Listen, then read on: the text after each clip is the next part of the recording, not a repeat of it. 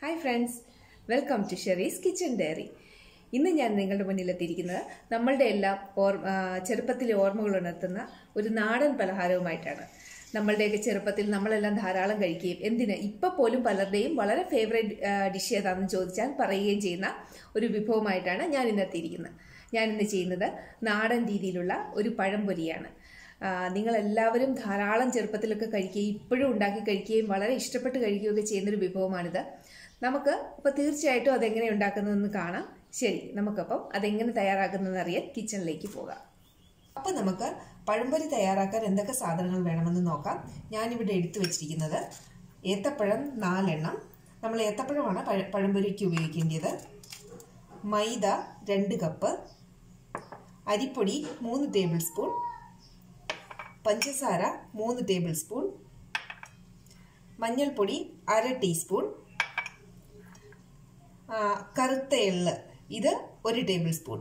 ഇത് ഓപ്ഷണലാണ് ഉണ്ടെങ്കിൽ ഇട്ടാൽ മതി. നിർബന്ധമൊന്നുമില്ല. പിന്നെ ഒരല്പം ഉപ്പ്.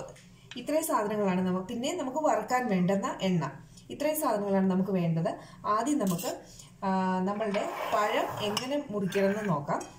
പലരും ഇത് പകുതിയായിട്ട് മുറിക്കാറുണ്ട്. പക്ഷേ ഞാൻ ചെയ്യുന്നത് ആദ്യം വീട്ടിലെല്ലാവർക്കും എന്റെ വീട്ടിലെല്ലാവർക്കും പഴം വളരെ തിന്നായിട്ട് മുറിച്ചിട്ട് വറുത്തെടുക്കുന്നതാണ് ഇഷ്ടം. അതുകൊണ്ട് ഇതാ ഇങ്ങനെ ആദ്യം ഒന്ന് പകുതിയായിട്ട് മുറിച്ചു. അത് കഴിഞ്ഞ് അതിനെ ഒന്ന്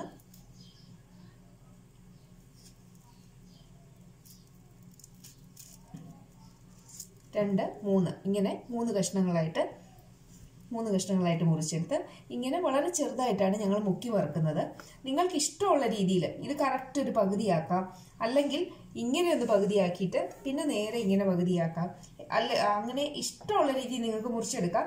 ഞാൻ പറഞ്ഞല്ലോ ഞാൻ എന്റെ വീട്ടിൽ എല്ലാവർക്കും ഇഷ്ടം ഇതുപോലെ വളരെ തിന്നായിട്ട് മുറിച്ചെടുത്ത് വറുത്തെടുക്കുന്നതാണ്.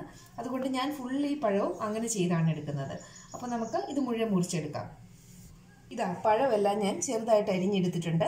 നമുക്കിനി എന്ത് ചെയ്യണം നോക്കാം. ആദ്യം ഒരു പാത്രം എടുത്ത് നമുക്കിതിലേക്ക് നമ്മളുടെ മൈദ.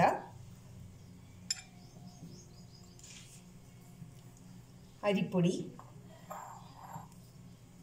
മഞ്ഞൾപ്പൊടി. പഞ്ചസാര. എള്ള് ഒരൽപ്പ ഉപ്പ്. ഇത്രയും സാധനങ്ങൾ നന്നായിട്ടിട്ടൊന്ന് മിക്സ് ചെയ്യണം. നമുക്ക് ഇതിന് വെള്ളമൊഴിച്ച് നല്ലൊരു കട്ടിയായിട്ടുള്ളൊരു ബാറ്ററാക്കി നമുക്ക് എടുക്കാം ഇത്. നമുക്കിതിലേക്ക് വെള്ളം ഒഴിച്ച് മിക്സ് ചെയ്യാം.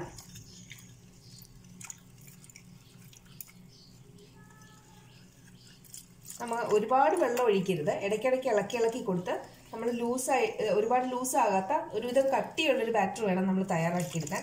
അപ്പം അതിനനുസരിച്ച് വെള്ളം ഒഴിച്ച് വേണം നമ്മളിത് ചെയ്ത് കൊടുക്കാൻ. ഇതാ നമ്മുടെ ബാറ്റർ റെഡി ആയിട്ടുണ്ട്. ഇതിന്റെ കൺസിസ്റ്റൻസി ഞാൻ ഏകദേശം കാണിച്ചു തരാം. കണ്ടോ?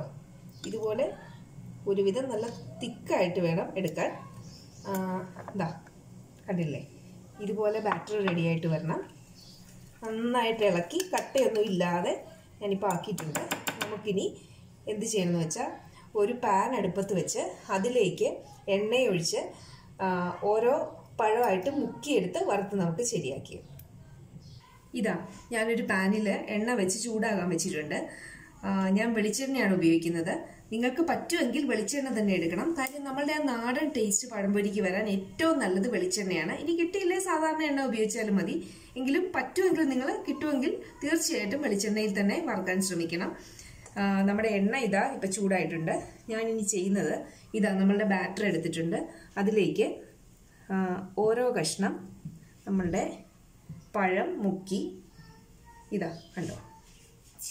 ഇതുപോലെ ഇട്ടിട്ട് എടുക്കണം. അടുത്ത കഷ്ണം ഇനി എടുക്കാം.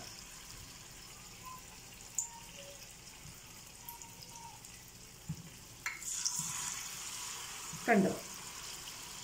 ഇങ്ങനെ നമുക്ക് നമ്മുടെ മുഴുവൻ പഴങ്ങളും ഇട്ട് നമുക്ക് ബാറ്ററിൽ മുക്കി പുറത്തെടുക്കാം നമുക്ക്.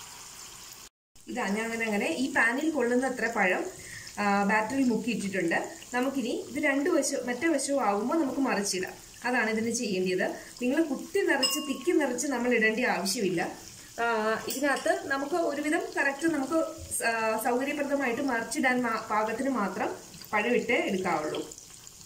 ഇതാ നമ്മളുടെ പഴത്തിന്റെ ഒരു ഒരു വശമായിട്ടുണ്ട്. നമുക്കിനി ഇത് ടേൺ ചെയ്യാമില്ല കണ്ടോ ഒരു ഇളം ബ്രൗൺ നിറം വരണം. ഇനി ഇത്രയും മുരി ഉണ്ടാവുന്നുണ്ടെങ്കിൽ നിങ്ങൾക്ക് കുറച്ചും കൂടെ മുമ്പ് എടുക്കാം. എന്റെ വീട്ടിൽ എല്ലാവർക്കും അല്പം മുരിഞ്ഞ് കിട്ടുന്ന പഴമാണ് ഇഷ്ടം. അതിനാണ് ഞാനൊരു ഇത്ര ഒരു ലൈറ്റ് ബ്രൗൺ കളർ മേളിൽ വരുമ്പോൾ എടുക്കുന്നത്.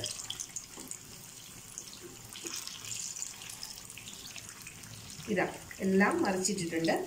ഒരു കുറച്ച് സമയം കൂടെ വെച്ചാൽ മതിയാവും. അപ്പോൾ നമ്മൾ അടുത്ത് തന്നെ നിന്ന് ഇതിന്റെ പാകമാകുന്നുണ്ടോ എന്ന് നോക്കി നോക്കുക. ഇതാ നമ്മുടെ പഴംപൊരി റെഡി ആയിട്ടുണ്ട്. നമുക്കിനി ഇത് കോരിയെടുക്കാം.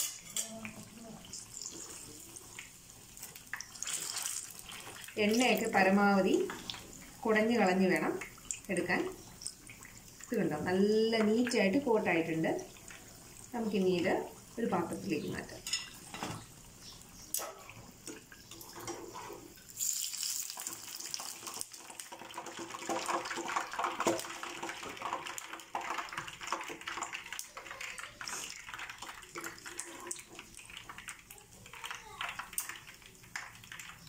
ഇതാ നമ്മുടെ പഴംപൊരി റെഡി ആയിട്ടുണ്ട്. നമുക്കിനി ഇത് പാത്രത്തിലേക്ക് മാറ്റാം. ഇതാ കണ്ടില്ലേ? ഈ രീതിയിൽ നമുക്ക് എടുത്തു വെച്ചിരിക്കുന്ന പഴം മുഴുവൻ എടുത്ത് ഇതുപോലെ ഈ എണ്ണയിൽ വറുത്തെടുക്കാം. അപ്പോൾ ഫ്രണ്ട്സ് ഇതാ നമ്മുടെ രുചികരമായ പഴംപൊരി തയ്യാറായിരിക്കുന്നു. എത്ര എളുപ്പത്തിൽ ഞാനിത് എടുത്ത് ചെയ്തെടുത്തെന്നോ? നമുക്കെല്ലാം പെട്ടെന്ന് നാലു മണിക്കൊരു പലഹാരമായി പലഹാരമായും നമ്മുടെ കുട്ടികളൊക്കെ സ്കൂളിൽ നിന്ന് വരുമ്പോഴും ഒക്കെ കൊടുക്കാൻ പറ്റിയ ഒരു ഉഗ്രൻ സ്നാക്കാണിത് അപ്പം നമ്മളെല്ലാം എന്താ എന്താ പറയുക പഴയ കാലത്തെ ഓർമ്മകൾ ഉണർത്തുന്ന ഒരു പലഹാരമാണിത്. പിന്നെ ഞാൻ പറഞ്ഞില്ല ഞാനിത് വളരെ ചെറിയ സ്ലൈസ് ആയിട്ട് അരിഞ്ഞിട്ടാണ് ഇത് മുക്കി വറുത്തതെന്ന് അതിനൊരു കാരണം കൂടിയുണ്ട്. ഞങ്ങളുടെയൊക്കെ ചെറുപ്പത്തിൽ ഞങ്ങൾക്ക് ഏറ്റവും ഇഷ്ടമുണ്ടായിരുന്ന ഒരു ഭാഗം ഇതിന്റെ ആ പുറം തൊലിയില്ലേ അതിന്റെ ആ പുറമേയുള്ള ബാറ്ററി കോട്ടിങ് അത് ഭയങ്കര ഇഷ്ടമായിരുന്നു ഞങ്ങൾക്കൊക്കെ. അപ്പോൾ അത് കിട്ടാൻ വേണ്ടി തന്നെ എപ്പോഴും മമ്മിയോട് പറയുമായിരുന്നു കുറച്ച് നല്ല കട്ടിയിൽ മാവ് വേണം. ആക്ച്വലി അതിന്റെ പഴം കഴിക്കുന്നതിനേക്കാളും കൂടുതൽ അതിനുള്ളിലെ പഴത്തിനേക്കാളും ഇഷ്ടപ്പെട്ടിരുന്ന ആ പുറം തൊലിയാണ്. അപ്പോൾ ഇപ്പോഴും ആ ഇഷ്ടമുണ്ട്. അപ്പം എന്റെ വീട്ടിലും എല്ലാവർക്കും ഇഷ്ടം. അങ്ങനെ വളരെ തിന്നായിട്ട് ചെയ്യുന്നതാണ്. അപ്പം നമ്മൾ തിന്നായിട്ട് ചെയ്യുമ്പോൾ കൂടുതൽ ബാറ്റർ കോട്ടിങ് നന്നായിട്ട് പിടിച്ചിരിക്കാനുള്ള ചാൻസ് ഉണ്ട് അപ്പം തീർച്ചയായിട്ടും നിങ്ങൾ പരീക്ഷിക്കുമ്പോൾ നിങ്ങൾക്ക് അങ്ങനെ വേണേൽ ചെയ്യാം. ഇനി അഥവാ വലിയതായിട്ട് വേണമെങ്കിൽ അങ്ങനെയും വേണേൽ ചെയ്യാം. അപ്പോൾ തീർച്ചയായിട്ടും നിങ്ങളെല്ലാം ട്രൈ ചെയ്യണം. വീട്ടിലെല്ലാവർക്കും കൊടുക്കണം. അതിനുശേഷം നിങ്ങളുടെ അഭിപ്രായങ്ങളൊക്കെ എന്നെ അറിയിക്കണം. പിന്നെ ഞാൻ എന്നും പറയുന്ന പോലെ എന്റെ ചാനൽ ലൈക്ക് ചെയ്യുക ഷെയർ ചെയ്യുക സബ്സ്ക്രൈബ് ചെയ്യാത്തവരുണ്ടെങ്കിൽ സബ്സ്ക്രൈബ് ചെയ്യുക. പിന്നെ ബെൽ ബട്ടൺ അമർത്താൻ മറക്കരുത്. നോട്ടിഫിക്കേഷനുകൾക്കായി അപ്പോൾ ഇന്നത്തെ നമ്മുടെ റെസിപ്പി നമ്മളുടെ രുചികരമായ പഴംപൊരി നാടൻ രീതിയിൽ അടുത്ത റെസിപ്പി വരേക്കും. ബൈ